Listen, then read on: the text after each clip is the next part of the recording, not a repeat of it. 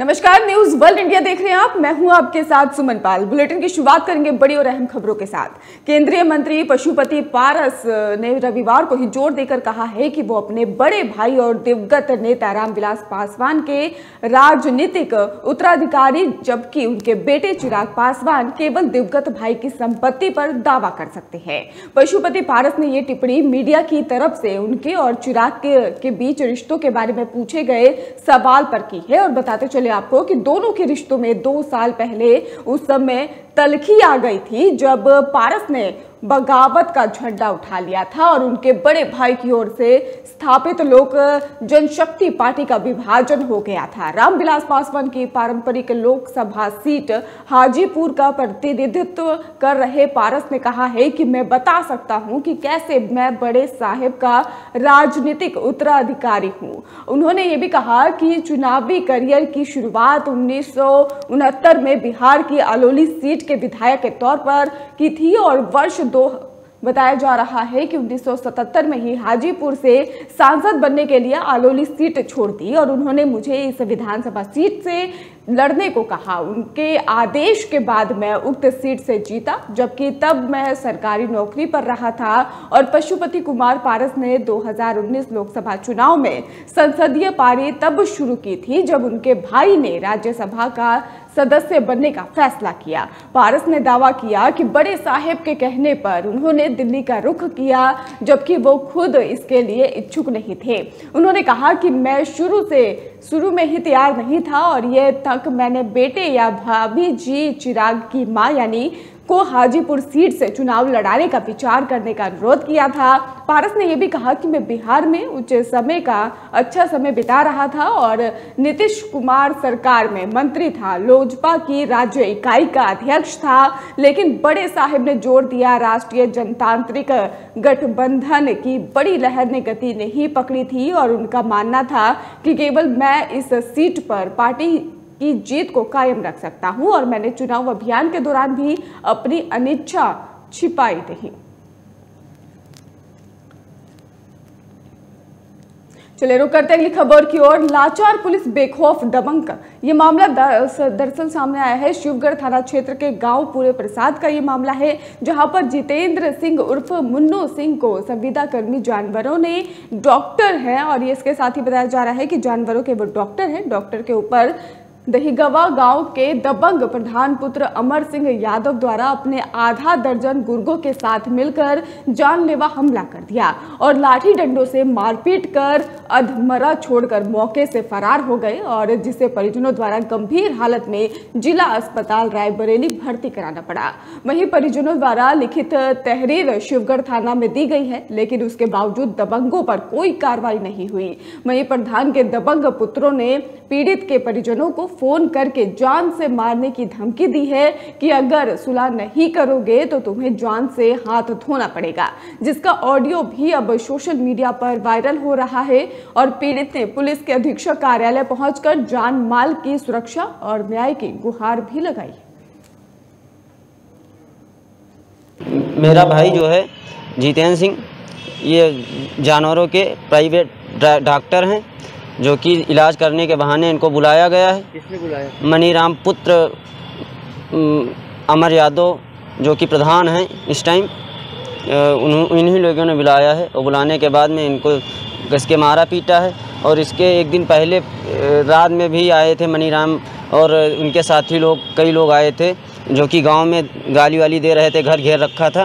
उसके बाद में जब 112 हमने बुलवाया तो एस साहब ने उनको मना कर दिया। कि चले आओ वो तो नशे नशा कर रखे हैं। इसी कारण आज जो घटना घटी मेरे भाई के साथ इसका यही नतीजा है कि पुलिस अब सही कार्रवाई नहीं कर पा रही है। इसकी बात इसका अकाल रात में फिर फ़ोन करके धमकी दे रहे हैं कि ये अच्छा नहीं कर रहे हो आप लोग अगर कानूनी कार्रवाई करेंगे तो हम मैं जान से मार दूँगा। और इसी खबर पर हमारे साथ रायबरेली से हमारे सहयोगी मोहम्मद आबिद हमारे साथ जुड़ चुके हैं। मोहम्मद, गवाह को फ़ोन करके धमकी देने का ये ऑडियो वायरल हो रहा है। पूरा मामला क्या है, विस्तार से बताइए। देखिए, आपको बताना चाहूँगा कि ये पूरा मामला जो है रायबरेली के शिवगढ़ थाना क्षेत्र का है। जहाँ पे एक जानवरों के डॉक्टर है जिनको दबंगों ने जो है पीटा था और इसको लेकर के थाने में सूचना भी इन लोगों ने दी थी लेकिन पुलिस ने कोई कार्रवाई नहीं की थी। और जिसको लेकर के दबंगों द्वारा जो है इसको फ़ोन पर धमकी भी दी गई है पीड़ित को। जी। जी धमकी देने का मोहम्मद अब देखिए ऑडियो भी वायरल हो रहा है तो उसको लेकर पुलिस कुछ कार्रवाई कर पा रही है अभी तक? वायरल हो रहा है, पुलिस से संपर्क किया गया तो पुलिस का ये कहना मामला संज्ञान में है और घटना की जो है, क्या कहते हैं, तफ्तीश करके इसमें न्यायोचित जो भी कार्रवाई होगी, वो की जाएगी। जी मोहम्मद, आपका बहुत बहुत शुक्रिया हमारे साथ जुड़ने के लिए और अहम जानकारी देने के लिए।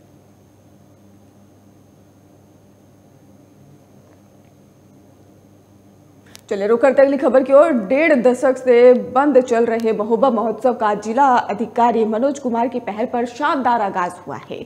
जनपद के स्थापना दिवस पर ही सांसद पुष्पेंद्र सिंह चंदेल ने फीता काटकर महोबा महोत्सव का शुभारंभ किया है, जिसमें सदर विधायक राकेश गोस्वामी और एमएलसी जितेंद्र सिंह सेंगर जी मौजूद रहे। और एक सप्ताह तक चलने वाले महोबा महोत्सव में स्थानीय कलाकारों सहित राष्ट्रीय स्तर के कलाकार भी अपनी प्रस्तुति देंगे और डीएम की इस पहल से महोबा वासियों में खासा उत्साह है।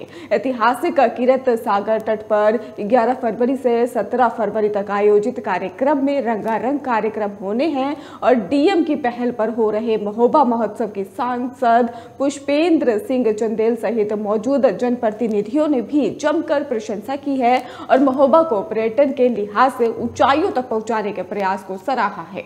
दरअसल, बता दें आपको कि 11 फरवरी उन्नीस को हमीरपुर से अलग होकर महोबा को जनपद का दर्जा मिला था और तत्कालीन के ही विधायक रहे अरविंद मर्दन सिंह नाना की मांग पर ही यह सौगात महोबा को दी गई थी। और तभी से 11 फरवरी को ही महोबा महोत्सव का आगाज़ शुरू हुआ था, लेकिन पिछले डेढ़ दशक से अधिक से महोबा महोत्सव बंद पड़ा था। इसको लेकर जनपद वासियों में भी काफ़ी नाराज़गी बनी रहती थी, लेकिन अब महोबा के जिलाधिकारी मनोज कुमार ने इसे गंभीरता से लेते हुए जिला सृजन की सालगिरह महोत्सव के रूप में मनाया है।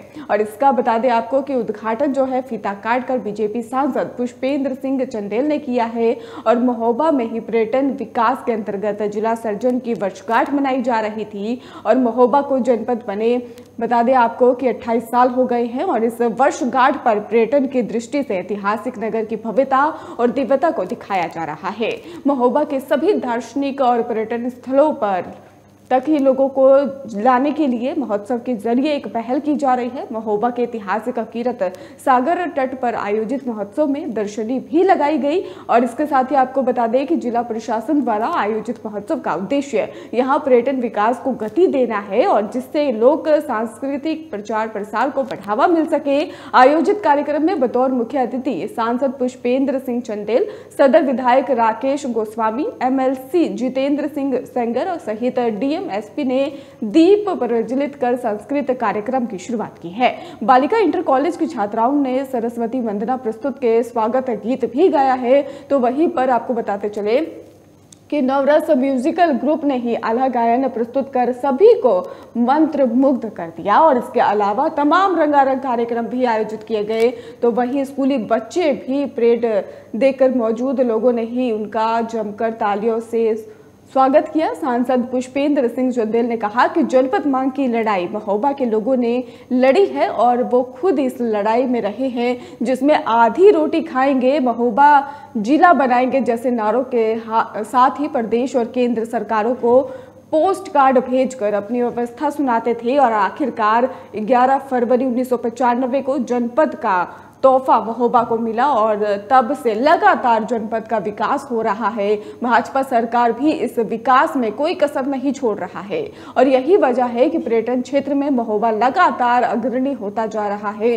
महोबा के सभी दार्शनिक, ऐतिहासिक, धार्मिक स्थलों को सहेजने और संवारने का काम किया गया है, जो लगातार जारी भी है। और महोबा का सूर्य मंदिर हो या फिर गोरखनाथ की तपोस्थली, गोरखगिरी पर्वत, ऐतिहासिक, किरत सागर तट सहित बुलंदखंड के ही कश्मीर चरखारी और कई किलों को संवारने का काम हो रहा है। पर मौजूद जनप्रतिनिधियों और अतिथियों ने एक सप्ताह तक चलने वाले इस महोत्सव की जमकर सराहना भी की है।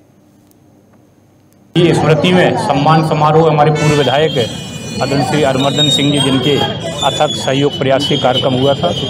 माननीय सदर विधायक जी के साथ में आज बुंदेली समाज द्वारा आदरणीय तारा पाटकार जी जो सामाजिक कार्यकर्ता हैं और हमेशा लोगों को अच्छा कार्य करके प्रेरणा देते हैं। तो आज ऐसी जो विभूतियाँ हैं, जो संगीत, कला के क्षेत्र में, समाज के क्षेत्र में जो अच्छा कार्य कर रहे हैं तो उत्कृष्ट कार्य करने के लिए उनको सम्मानित किया गया। और निश्चित तौर से आप देख रहे होंगे कि महोबा जिला जब बहुत तेज़ी से आगे बढ़ रहा है। अभी बीच में दो फरवरी को ही वर्ल्ड सेंचुरी का स्टेट लेवल का कार्यक्रम हमारे विजय सागर पश्चिम बिहार में हुआ था। शासन की मंशा है कि पर्यटन की दृष्टि से यह महोबा जिला और डेवलप हो। इसके लिए माननीय मुख्यमंत्री जी ने सदर विधायक जी, हम सब लोगों के निवेदन पर ये बुंदेलखंड सर्किट में महोबा चरखारी को भी इंक्लूड किया है। और ये उत्तर प्रदेश की जो डायरेक्टरी हुई है तो उसमें अपना इसका महोबा चरखारी को उल्लेख किया गया है। और जो भी और महोबा अपने हमीरपुर, बांदा, चित्रकूट, जो यहाँ आसपास जो भी पर्यटन की दृष्टि से महत्वपूर्ण स्थान है तो उनको विकसित करने के लिए हम लोग निरंतर प्रयास कर रहे हैं और उम्मीद है कि बहुत जल्दी ये पर्यटकों के लिए एक टूरिज़्म हब के नाम पे जाना जाएगा कि दूर दराज से भी लोग पर्यटक यहाँ पर आएँ स्थानीय लोगों को रोज़गार मिल सके। निश्चित रूप से पूरे महोबा जनपद के लिए बहुत हर्ष और उल्लास का दिन है, क्योंकि अपने बुंदेलखंड क्षेत्र में जो भौगोलिक स्थिति के अनुसार हमीरपुर जनपद बहुत दूर पड़ता था, वर्षों तक लोगों ने आंदोलन चलाया। सौभाग्य से मुझे भी उस आंदोलन में बहुत दिन तक काम करने का, सीखने का, लोगों से मिलने का अवसर प्राप्त हुआ। मैं समझता हूँ कि पूरे जनपद के लोगों के जन भावनाओं के आधार पर इतना बड़ा आंदोलन खड़ा हुआ था और इस ज़िले की घोषणा हुई। और ये बहुत स्वस्थ परंपरा है कि जो भी जनपद हो, जैसे घर में लोग बच्चे का जन्मदिन मनाते हैं, अपने बुज़ुर्गों का मनाते हैं, महापुरुषों का मनाते हैं तो अपने, जैसा भी उत्तर प्रदेश का भी दिवस मनाया गया था तो मैं निश्चित रूप से इस बात के लिए, मैं आप सभी लोगों का जनपद वासियों को मैं शुभकामनाएँ ज्ञापित करता हूँ। कि बीच में ये जो आ, अपना उत्सव का कार्यक्रम बीच में नहीं हो पाया कोविड के टाइम से और भी किसी कारण से ये अच्छी परंपरा है स्वस्थ परंपरा होना चाहिए। देखिए हम सबसे पहले तो धन्यवाद देना चाहेंगे अपने नाना जी को हमारे पूर्व विधायक हरमर्दन सिंह जी को जिनकी सौजन्य से और हमारे आज जिस कार्यक्रम में हम लोग उपस्थित हुए हैं स्वर्गीय पुष्कर सिंह जी की स्मृति में आज ये आयोजन किया जाता है। तो ये जिला जब से बना है आज 28 साल होने जा रहे हैं जिला बनने के बाद से महोबा की जितनी तरक्की हुई है, पहले महोबा जनपद ना होने की वजह से हमीरपुर जनपद था। महोबा के जनपद के, महोबा के निवासियों को बहुत दिक्कत होती थी। एक एक कार के लिए तीन तीन दिन महोबा पड़ा हमीरपुर में पड़ा रहना पड़ता था। हमारे नाना ने अपनी राजनीति दांव पे लगाकर, अपना सब कुछ दांव पे लगाकर महोबा को जिला बनवाया और तब से आज तक ज़िले महोबा ने बहुत तरक्की की है। आप देख देख रहे हैं, चाहे टूरिस्ट के मामले में हो चाहे सड़कों के मामले में हो चाहे बिजली के मामले हर मामले में महोबा ने बहुत तरक्की की है। अब उद्योग के मामले में भी महोबा अग्रणी होने जा रहा है। जैसा कि हमारे एमएलसी साहब ने बताया कि हमारे मुख्यमंत्री जी ने आश्वासन दिया है कि महोबा में शीघ्र ही एक न एक इकाई की स्थापना होगी, जिससे यहाँ के लोगों को स्वरोजगार मिलेगा और बाहर जाने का परेशानी से बचेंगे। जनता की देन यहाँ की जनता की मांग थी। और मैंने वो मांग रखी। मान मुख्यमंत्री जी से। मान मुख्यमंत्री जी ने बड़े दिलदार मुख्यमंत्री थे जिन्होंने यहाँ दिया। पत्र पातकार जी ने हमारा सम्मान सब लोगों को सम्मान किया है। अच्छे लोगों को। मानी विधायक जी का मानी एम साहब का साथ मेरा भी तो मैं बड़ा आभारी हूँ। क्या लगता है जिला बनने के बाद महोबा में बदलाव हुए हैं विकास हुआ है? बहुत बदलाव हुआ है। सर बदलाव हुआ है। बदलाव तो तुरंत चालू हो गया था चूँकि माननीय मुख्यमंत्री जी ने टोकन दिया था। अन्य जगह टोकन नहीं देते। कि चंदेल की देन थी जो टोकन मांगा था मंच में। उन्होंने एक एक रुपये दे दीजिए सब तो उन्होंने टोकन दिया था, उसी दिन से जिला अधिकारी एस पी सब थे और आप लोगों की देन थी सब लोग महोबा जिला स्थापना दिवस पर हर वर्ष हम लोग, आइए विधायक जी, हम लोग पुष्कल सिंह की सम्मान में एक वीर भूमि पुरस्कार देते हैं। वीर भूमि सम्मान, पुष्कल सिंह स्मृति वीर भूमि सम्मान। वही आज 19 लोगों को दिया गया, जो महोबा के लोग अच्छे कार्य कर रहे हैं। उसमें उस आल्हा गायन वाली टीम को भी दिया गया है, जो 10 लोगों की टीम थी कर्नाटक के हुबली शहर में, जिन्होंने राष्ट्रीय युवा महोत्सव में प्रदेश देश में पहला स्थान प्राप्त किया और अब उत्तर प्रदेश का प्रतिनिधित्व किया था। उन सभी लोगों का सम्मान किया गया। उसके साथ महुआ में जो अच्छे कार्य करने वाले और लोग हैं, उनको भी किया गया। तो ये हर वर्ष ये समारोह होता है और उसमें पुष्कल सिंह जी की स्मृति में महोबा ज़िला बनाओ, उस आंदोलन को हम लोग याद करते हैं, जिसमें बहुत लोगों ने संघर्ष किया, उन सबको नमन करते हैं और पुष्कल सिंह जी को करते हैं। और ख़ास तौर से नाना आ जाते हैं, इनका भी बहुत हम लोग इनको नमन करते हैं। चलिए, रुकर अगली खबर की ओर। सहारनपुर पुलिस के द्वारा ही लूट और चोरी का खुलासा करते हुए दो शातिर लुटेरों को गिरफ़्तार किया गया है। प्रेस वार्ता में सहारनपुर के एसपी, सिटी अभिमन्यु मांगलिक ने जानकारी देते हुए बताया है कि थाना कोतवाली देहात पुलिस ने ही लूट और चोरी का खुलासा करते हुए दो शातिर चोर, नोना उफ शारिक पुत्र मोहम्मद ताहिर और मोहम्मद अली पुत्र शौकत को गिरफ़्तार किया है। और उन्होंने बताया है कि गिरफ़्तार शातिर चोरों के कब्जे से चोरी किए गए दो इन्वर्टर को दो बैटरी और एक आधार कार्ड एक पैन कार्ड और दो सौ और एक हथौड़ा एक पेचकस और तीन चाबी एक प्लास और दो पाने बरामद किए गए हैं। और इसके साथ ही उन्होंने जानकारी दी कि गिरफ़्तार अभियुक्त गढ़ शातिर किस्म के अपराधी हैं जो गैंग बनाकर मकानों को चिन्हित कर मौका पाकर उनमें चोरी की घटना को अंजाम दिया करते थे। यह पिछले ती, दो तीन महीनों में एक गैंग की तरह काम कर रहे थे तीनों।